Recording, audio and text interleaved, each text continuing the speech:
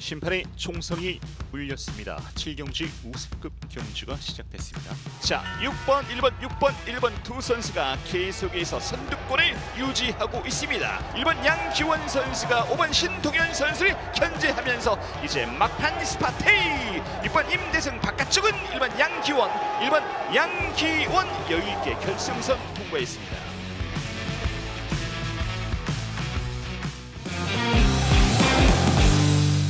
광명 우수급 제6경주입니다. 광명 우수급 제6경주가 출발했습니다. 7번의 양기원 선수가 그대로 속도 살려 나가면서 이제 마지막 한 바퀴 승부. 뒤쪽에는 6번 그리고 2번, 1번 순으로 아직까지 이어지고 있는 상황.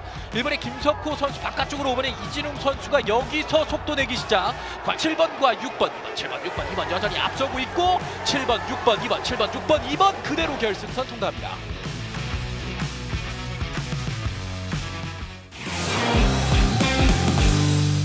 일곱 명의 선수들이 일제히 pedaling을 시작했습니다. 광명 우수급 제 7경주 출발합니다.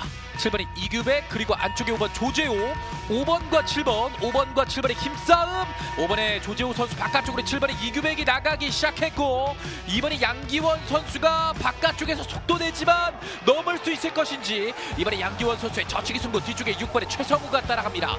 2번 양기원 선수 뒤쪽 6번과 4번입니다. 2번 그리고 4번 6번입니다.